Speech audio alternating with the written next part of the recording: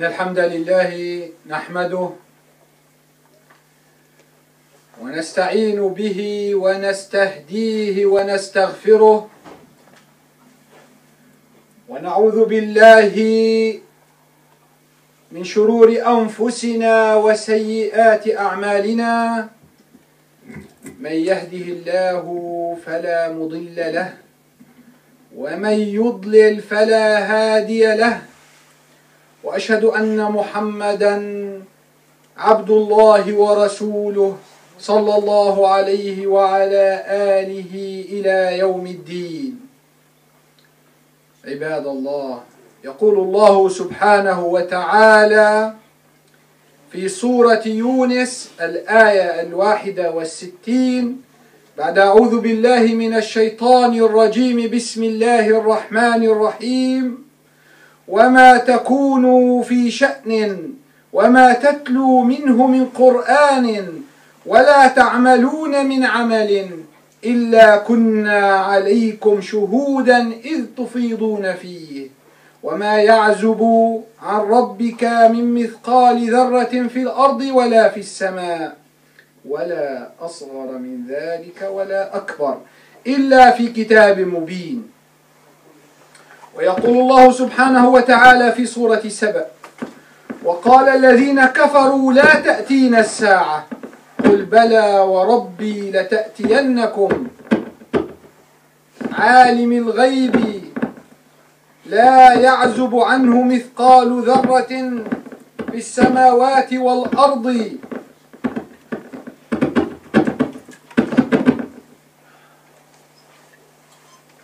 لا يعزب عنه مثقال ذرة في السماوات والأرض ولا أصغر من ذلك ولا أكبر إلا في كتاب مبين هو الذي خلق السماوات والأرض في ستة أيام ثم استوى على العرش يعلم ما يلج في الأرض وما يخرج منها وما ينزل من السماء وما يعرج فيها وهو معكم أينما كنتم والله بما تعملون بصير ثم يقول الله سبحانه وتعالى في سورة الجاثية هذا كتابنا ينطق عليكم بالحق إنا كنا نستنسخ ما كنتم تعملون فأما الذين آمنوا وعملوا الصالحات فيدخلهم ربهم في رحمته ذلك هو الفوز المبين واما الذين كفروا افلم تكن اياتي تتلى عليكم فاستكبرتم وكنتم قوما مجرمين واذا قيل ان وعد الله حق والساعه لا ريب فيها قلتم ما ندري ما الساعه ان نظن الا ظنا وما نحن بمستيقنين اهل بابل يا اخوتي أهل بابل عندما البابليون عندما اخترعوا الكتابة المسمارية كانوا يدونون ثقافتهم بطبعها بهذه اللغة وكانت لديهم مكتبة ضخمة أكبر مكتبة في ذلك العصر لكن لكم أن تتصوروا تلك المكتبة كم كان فيها من الألواح الحجرية التي تزن الوزن الثقيل ثم يقول الإنسان كيف كيف الله سبحانه وتعالى سوف يعلم كل شيء يرج في الأرض من حشرة ومن ومن دابة ومن هامة ويعلم ما يخرج منها وما ينزل من السماء وما يعرج فيها وأعمالنا كل أعمال البشر كلها لديه في كتاب يقول المرء كيف طبعا في ذلك الوقت كيف وهو يحتاج إذا أراد أن يؤلف كتابا إلى غرفة بحجم هذه الغرفة ثم تطورت الأمور تطورت الأمور يا إخوتي فأصبح فجاء هيجو هو اتش جي ويلز هذا كاتب كان مشهور جدا وهو مؤلف كان كتب كثيرا من كتب الخيال العلمي وألقى محاضرة عام 1937 في مكتبة في في فرنسا وتحدث فيها عن رؤيته للمستقبل وكانت هي فكرته كان يستشرف المستقبل وكان يتكلم عن أن نجمع كافة ثقافة العالم بوسيلة معينة وتحدث حينها عن الميكروفيلم لأنه لم يكن لديه حينها اطلاع على على ماذا؟ على لم يكن الكمبيوتر قد اخترع لكن الآن يا إخوتي عندما جاء جوجل وأراد أن ينسخ ويريد أن يحيي فكرة التي قالها هذا الكاتب العظيم قال سوف ننشئ مكتبة تضم كتب العالم كلها وأنشأ وبدأ بالعمل واستطاع أن ينسخ ثمانية ملايين أو عشرة ملايين كتب عشرة ملايين كتب خلال فترة من عام 2004 حتى الآن يضعها على الإنترنت فلكم أن تتخيلوا يا إخوة كيف كان قبل 20 سنة من الآن أقل من 20 سنة كان الكمبيوتر 64 ميجا 64 اللي هو الديسك تبع الكمبيوتر 64 ميجا اوه شيء عظيم وعندما رايناه المره الاولى ادهشنا ولكن عندما عندما ماذا؟ عندما الان ترى المنه هذه الصغيره هذه الصغيره ب 64 جيجا فلك ان تتخيل فلا تستغرب وتقول أيها الإنسان وتستكبر أيا تكون الساعة وكيف لله أن أن يدرك هذه الأمور كنت قبل عشرين سنة حضرت مع شيخ صوفي كان يتكلم فيقول عن هذا الأمر يوم تشهد أيديهم وأرجلهم قال يعني الفيديو الفيديو تحدث هو عن الفيديو ولكن الآن كسيت الفيديو لكن أنا أتحدث عن الديجيتال وعن تطورات مستقبلية لا يعلم بها الإنسان فلا تستنكر أيها الإنسان فالله سبحانه وتعالى يدرك كل الله سبحانه وتعالى يعلم ما تخفي الأنفس فكل عمل تقوم به مسجل عند الله هذه هي انتبه أيها الإنسان شير برادر شير سيسترا الله سبحانه وتعالى إلى إن إن يا بولا يخطب vill فوش först gratulera er. Vet ni varför? Idag. Idag kommer det att höras ett böneutrop. För första gången från moskén ska man ropa för Allah subhanahu wa ta'ala. Och så länge jag har längtat att höra Allahu Akbar så här lida i himlen. Så jag gratulerar er allihopa och gratulerar alla muslimer och gratulerar också svenskar. Och gratulerar Sverige. För första gången Sverige kommer att höra det här Allahu Akbar, Allahu Akbar, ashhadu an la ilaha illallah, ashhadu anna muhammadan rasulullah. Det här är faktiskt en jätteviktig utveckling. Kära bröder, kära systrar. Allah subhanahu wa ta'ala säger i surat Yunus, ayah 61. Muhammed. Han pratar med Muhammed. Vilken fråga, vilken fråga din uppmärksamhet än riktas mot och vilka Guds ord du än läser ur Koranen och vilket arbete ni, ni människor, än ägnar er krafter åt. Er vittne är vi, Allah, vittne till allt från den stund då ni griper er an med det. Från den stund. Allah är vittne till allt. Lyssna. Inte ens vad som motsvarar ett stoftkorns vikt. Översättaren har valt att använda den här. På arabiska heter det dharra. Och dharra det är det minsta som man kunde tänka sig på Muhammeds tid var det minsta man kunde se. Men även då, vad säger Allah subhanahu wa ta'ala? Även motsvarar ett dharra på jorden eller på himlen är dolt för din Herre. Inget zarra, ingen zarra, atom, eller det minsta som man kan uppfatta i jorden eller i himlen som är dolt för Allah subhanahu wa ta'ala. Och ingenting finns varken mindre. Lyssna! Muhammed säger till människor att då på den där tiden, innan västvärlden kunde upptäcka att zarra, atomen, kunde delas. Om det är mindre än zarra. Allah säger på den där tiden, inte mindre än zarra. Eller större än detta, som inte, lyssna, var nu på vakt samma allihopa här som hör, är inte inskrivet i Guds öppna bok inskrivet. Finns ingen enda darra, det minsta, atomen, eller mindre än atomen, eller större än atomen, i jorden eller i himlen som är inte Allah vittne till och som är inskrivet. Och sen säger Allah subhanahu wa ta'ala en, en annan sura. I surat Saba säger Allah subhanahu wa ta'ala. Men de, de som förnekar sanningen, säger den yttersta stunden drabbar oss aldrig. Säg, säg du, Muhammed. Vid min Herre, helt visst skall den drabba er. Vid honom, La Rabbi. Vid honom som vet allt som är dolt. För människor skall den drabba er. Ingenting i himlen eller på jorden, även om det är bara ett stoftkorns vikt, alltså darra, undgår honom och ingenting finns, vare sig mindre eller större än detta, som saknas i Guds öppna bok. Det, här, det, där första, det där första var i Surat Yunus. Om ni märkte då, i Surat Yunus säger Allah först i jorden och sen säger i himlen. Medan i den andra surat säger i himlen och sen i jorden. Och sen Surat Jathiya. Allah säger. Och den dagen, domsdagen, yttersta dagen. Och den dagen skall du få se alla samfund. Och Allah, hjälp oss på den där stunden. Alla samfund, vi är samfund va? Muslimer. Alla samfund ligga på knä inför domaren. Och varje samfund kallas fram till sin bok. Bok till varje samfund. Idag ska ni få lönen för era, för era handlingar. Så säger Allah. Aha. Betyg. Det finns en betyg va? kommer lära dem i betyg. Och det kommer Allah subhanahu wa ta'ala, alla böckerna kommer för varje samfund. Detta, detta är vår, vår bok som säger den fulla sanningen om er. Allt vad ni gjorde har vi låtit nedteckna.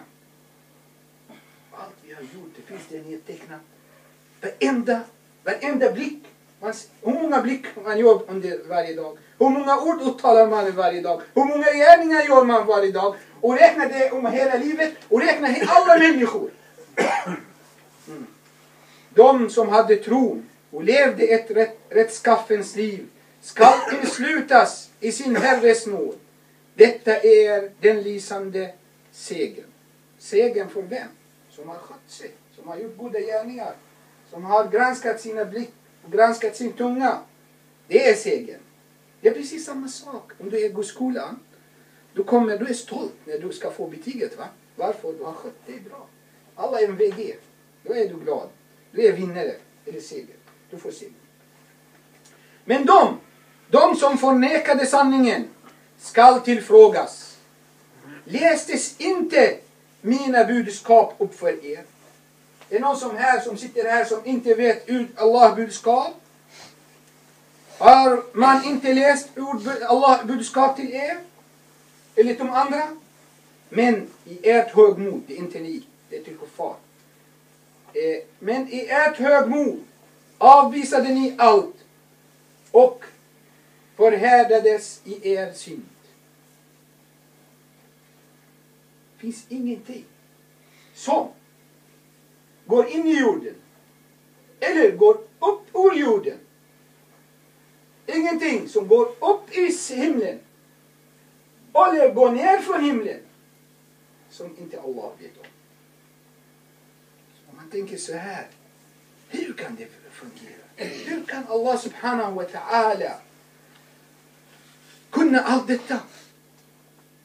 Varenda insikt som går in i jorden, varenda ödlor som går upp ur jorden, varenda sak som kommer från himlen. Varenda zarra, eller mindre än zarra, eller större än zarra, allt är nedskrivet. Om vi går tillbaka till babylonerna Babylonierna som upptäckte en speciell skrift som ni kommer ihåg. De tryckte i kilspråk heter det i lertavlor. De skrev deras lagar, deras kultur, deras eh, litteratur. Allt fanns då nedskrivet i de här tavlorna. Bland annat den första lagen som deras ledare då antecknade. De hade en stor bibliotek. Stor bibliotek, den största på den där tiden. Men ni kan bara föreställa er om jag skulle skriva en bok, en bok som är tusen sidor i de här lertavlorna. Hur tungt kommer den här, de här lertavlorna att väga? Hur stor kommer de att vara? Om du skulle då säga till, till någon människa då på den där tiden allt kommer, finns det skrivet. Varenda blick som ni gör, varenda ord som ni talar, varenda gärning som ni gör, så kommer de inte kanske att förstå det som vi gör det nu. För nu har vi sett något annat. Men de troende trodde även då på vad Allah och profeten sa till dem. De förnekade inte sanning, trots att de kunde inte förstå det. Du vet, när, när de kommer till till, eh, Allah säger till människorna i Mekka. Den sura kom i Mekka. Den ayah som kom.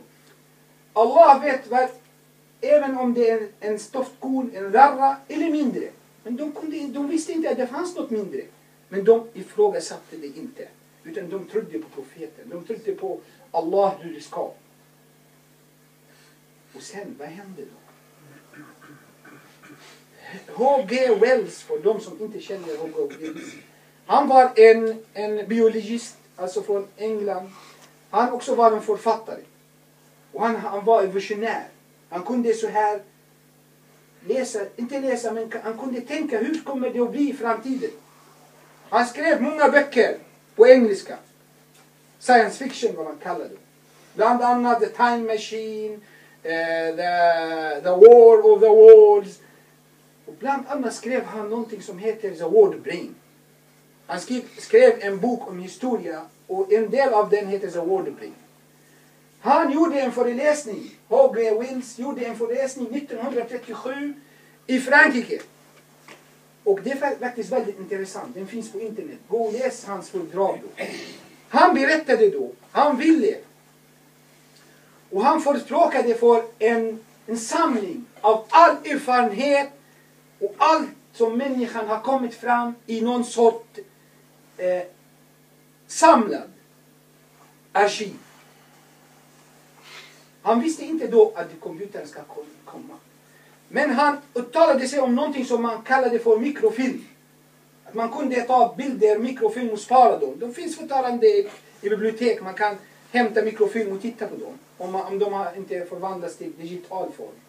Men om man tar det där som H.G. Eh, Wills har pratat om 1937 innan man upptäckte datorn och tar bort bara ordet mikrofilm och sätter istället för den ordet digital fil.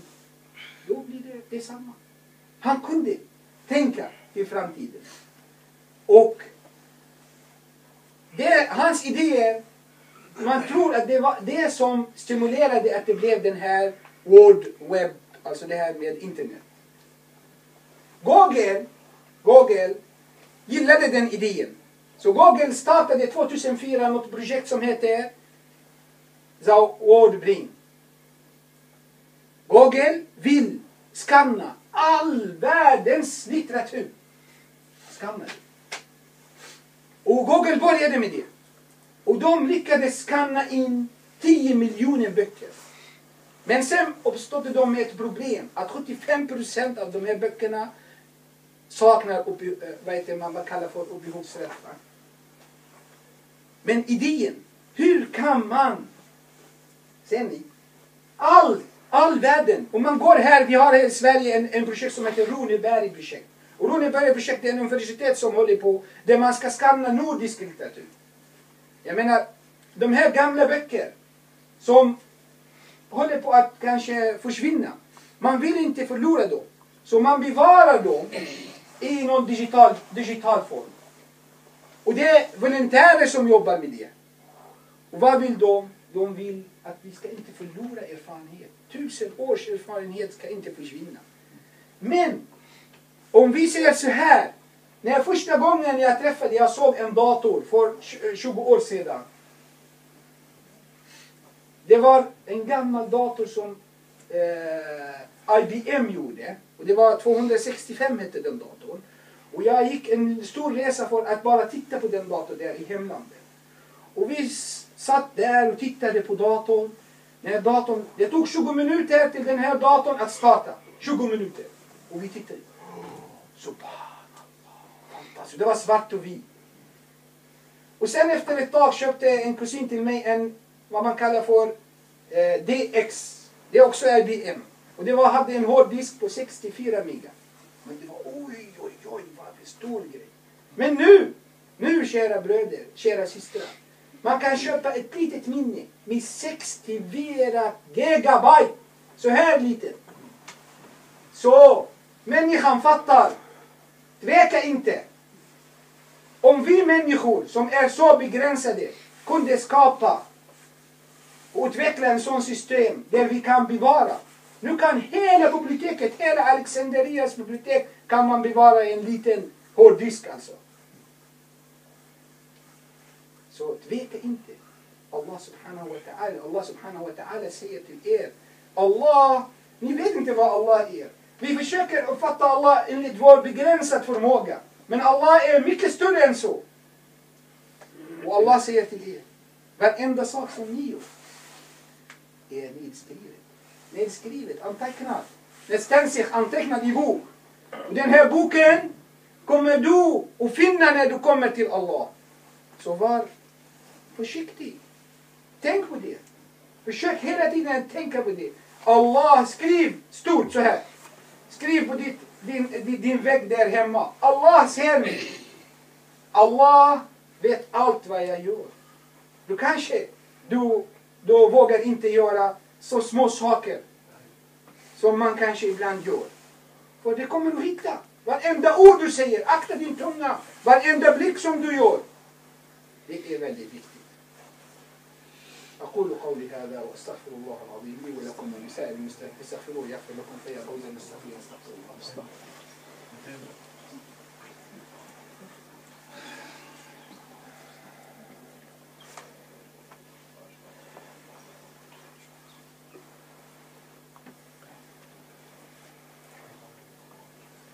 Lov och pris tillkommer Allah. Världarnas Herre. Vi lovprisar dig Allah. Vi tackar dig. Vi ber dig att hjälpa oss. Vi är svaga Allah. Allah, du är stark men vi är svaga. Vi är i behov till dig ständigt. Låt oss inte vara ensamma. Hjälp oss hela tiden. Låt oss Allah, hjälp oss att följa den vägen. Den raka vägen som kommer att leda oss till lycka, till din benåd, till din eh, förlåtelse. O oh Allah, vi älskar dig. Och vi älskar vår kära profet Muhammad sallallahu alaihi wasallam. Allah, vi ber dig skänka frid över vår kära profet. Nu har jag pratat till er om vad Allah säger i Koranen. Och pratat till er vad människor har kunnat göra här i västvärlden. Vad är budskapet med det? Vad vill? Varför, ska jag pra varför pratar jag om det? Alltid har jag försökt att göra att vi ska gå härifrån med kom ihåg message. Budskap. Budskapet, du människan, du är begränsad. Vi är begränsade. Och det har de varit också människor i Muhammeds tid var också begränsade. Men nu har vi andra vyer än dem. För vetenskapen har utvecklat sig stort. Och därför, kära bröder, kära systrar. Vårt ansvar är inte lika som deras ansvar. Ju mer man vet, desto större blir ansvaret framför Allah subhanahu wa ta'ala. Och när nu du använder en iPad med 64 GB eller har en eh, eh, data hemma, stationär dator på ett tickabyte. då, då kan du förstå mera än den människan som inte kunde ens skriva på Muhammeds tid. Allah säger till er, allt som ni gör finns. Så ni ska vara kloka va? Vi är kloka redan. Och alla muslimer är kloka, alhamdulillah. Men ibland glömmer man. Men glöm inte! Även om du glömmer, det spelar ingen roll. För det finns någon som skriver. Eller hur?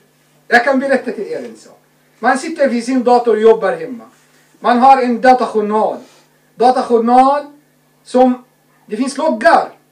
Om du går in på någon, någon journal, då direkt datan skriver och att han skriver att den här personen med den här inloggningsuppgiften eh, har loggat in på den här journalen i två sekunder.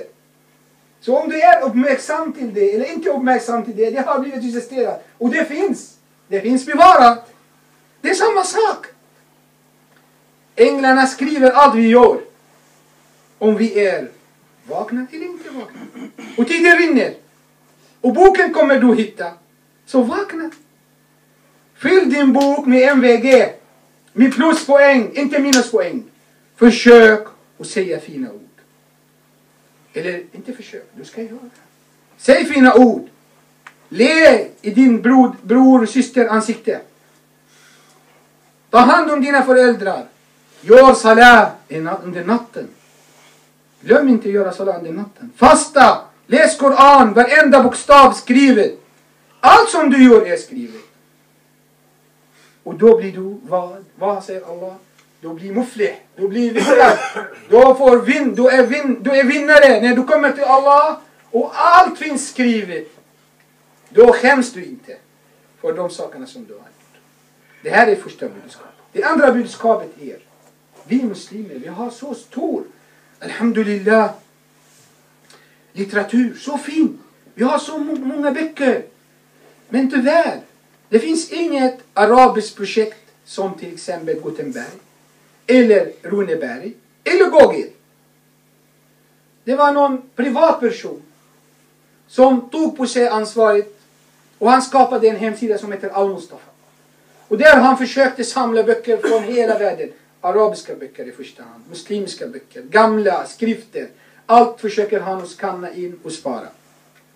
Men varför finns inte någon riktigt så här statlig eller någon organisation som tar på sig det här ansvaret för att skanna också den islamiska litteraturen som stor del av den islamiska litteraturen har försvunnit under, under åren. Framförallt under krigen som har hänt i, i Bagdad och i Syrien och de andra länderna. Kära bröder, kära systrar. Jag vill säga till er om en sak. Om ni gör den här saken kommer ni för det första stödja oss och visa till alla att vi är en förening som sköter sig. Ett demokratiskt sätt. För det andra kommer ni få belöning för Allah. För ni gör god gärning.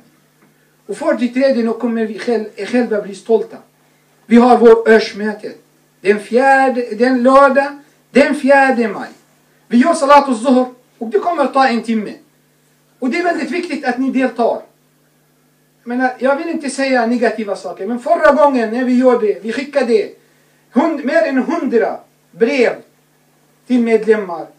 Och de som var här kunde man räkna dem på fingrarna. här. Det här svaga intresset, det är inte bra för föreningen. Vi vill, det här föreningen är för er, inte för mig. Det är för er. Så det är ni ska sköta den, inte jag. Jag är bara en representant. Och vi vill gärna att ni blir mer engagerade. Och vi vill att någon ska komma också och bli mer i styrelsen. Och därför, de som känner på sig att de vill hjälpa till och vara med i styrelsen. Bröderna ska ta kontakt med Amrullah. Och systrarna ska prata med syster Samia. Vi vill gärna att flera ska vara med oss och hjälper oss och ta hand om vår förening. Så snälla, ni som kan komma. Kom! Den fjärde maj. Salat och Zuhr gör vi här. Och sen efter det, en timme gör vi årsmötet och så är vi klara. Så sitter vi tillsammans och ni får belöning från Allah och vi kommer göra dua för er. Den andra sak. Jag tror att en bror kommer, kommer, kommer broren, ska komma och samla lite för om han kommer i alla fall, bror Erfan från Ikos som ska samla lite pengar för det projektet, den moskén.